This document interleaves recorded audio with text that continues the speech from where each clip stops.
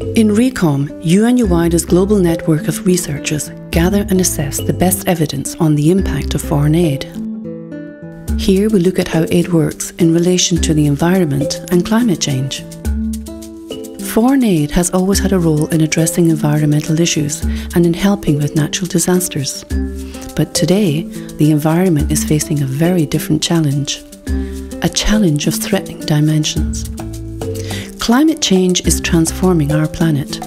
A minimum increase of 2 degrees centigrade in surface temperatures is built into the climatic system and cannot be negated.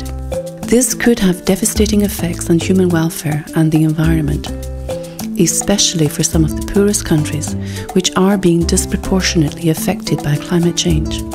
The three goals development, climate change adaptation, and climate change mitigation are, in reality, inseparable policy areas.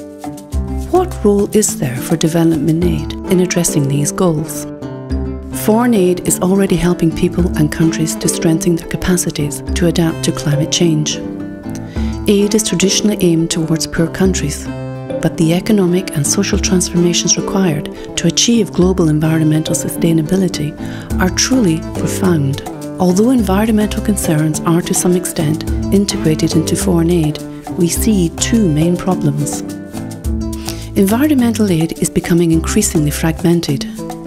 Aid directed towards environmental issues is increasing, while at the same time, the share of environmental aid delivered through bilateral channels is growing. And this causes aid to be less capable of dealing with challenges of global proportions. There is debate on whether to shift aid from fast growing middle income countries to lower income countries. Although the vast majority of the world's 1.3 billion poor actually live in the middle income economies. However, since their production and resource consumption is intensifying, leaving the middle income countries out of the equation will not help address this global problem. Foreign aid cannot work alone. UNU-WIDER researchers discuss what works, what could work, what is scalable, and what is transferable in foreign aid.